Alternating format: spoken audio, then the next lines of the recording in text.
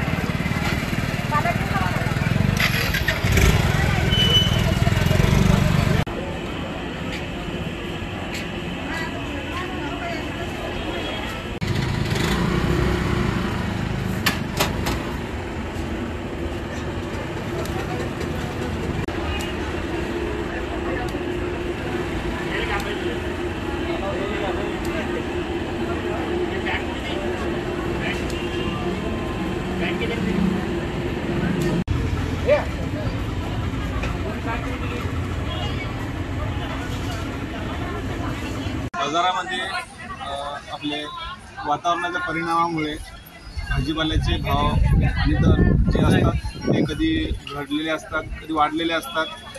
जसे की तसं भाव वाढायचा प्रश्न म्हणजे कधी गुरुवारी वाढतात कधी रविवारी भाव वाढतातच नेहमीमध्ये म्हणजे. आणि सध्या तरी टमाटर टमाटर झाले म्हणजे आपल्या मिरची वगैरे झाले कधी दोनशे रुपये रेट असतात तर कधी चारशे असतात.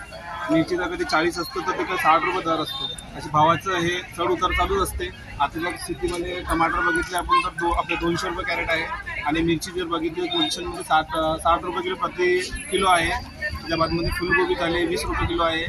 आणि तसं आपलं कोथिंबीर झाले कोथिंबीर पन्नास चाळीस रुपये किलो वीस रुपये किलो असे चढ उतार चालू असतात. आज आपल्या वातावरणामुळे शेतकऱ्यांचा जर जास्त माल आला बाहेरचा पेपरांचा जर माल आला तर त्याच्यामध्ये बाहेरचा शेतकऱ्याचा माल जर आला पेपराचा जास्त झाला त्याच्यामध्ये भाव कमी होतात.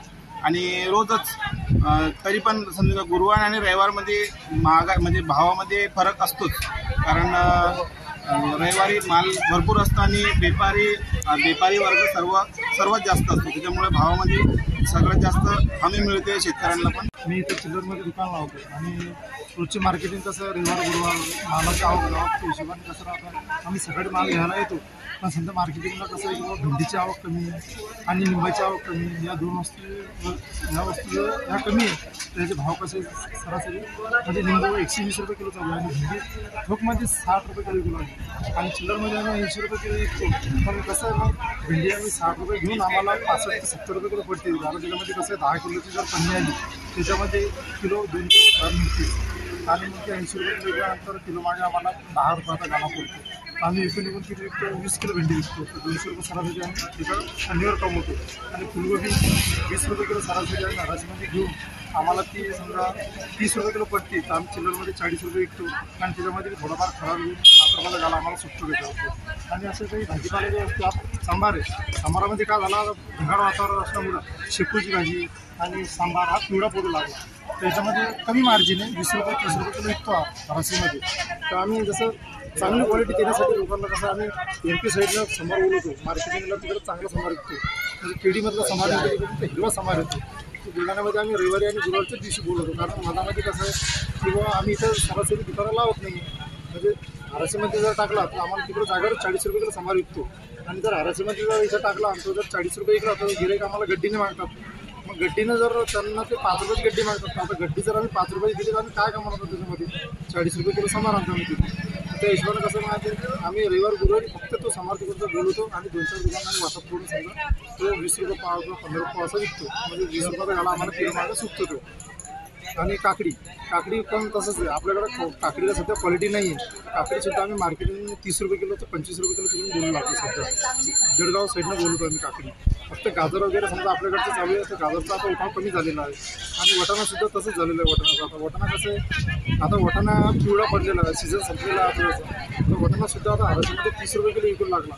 चिल्लरमध्ये चाळीसच्यावर उठाव नाही आहे पण चाळीस रुपये विकून त्याच्यामध्ये काही निघत नाही. कारण त्याच्यामध्ये पण पांढऱ्या शेंगा निघू लागलेल्या आहे आता. असं फेरी सुद्धा फेरी चाळीस रुपये किलो येऊ लागली पन्नास रुपये चिल्लरमध्ये विकू लागली. असं काही भाजीपाले कारण मेथीची भाजी मार्केटिंगला जास्त असल्यामुळं भाजीपाल्याचा दुसरा कसा उठाव कमी राहतो.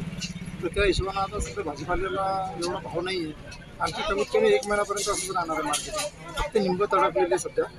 निंबू आणि भेंडी हे दोनच तुमचा महाग आहे. आणि शेवग्याच्या शेंगा सुद्धा मागं मागं तीस रुपये किलोवर आलं होतं. आणखी आता पन्नास रुपये किलोवर आलेलं आहे. कारण आपल्याकडच्या जो शेंगा होत्या हे वातावरण खराब झाल्यामुळे त्या शेंगा लाल झालं लाल झाल्यामुळे त्या बदलीमुळे काय होतं? ते पिवळ्या पडतात लाल पडतात आणि त्या झडून जातात त्याचे फुलं. म्हणजे ते मार्केटला आवक कमी झाल्या असल्यामुळं त्याची आवक कमी झाली जातात त्याचे भाव वाढलेले आहे.